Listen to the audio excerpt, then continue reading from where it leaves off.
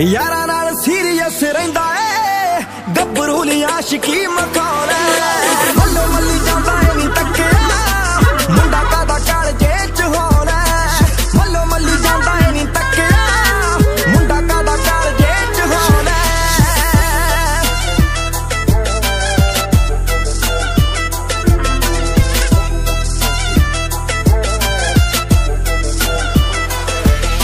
ਨਿਤ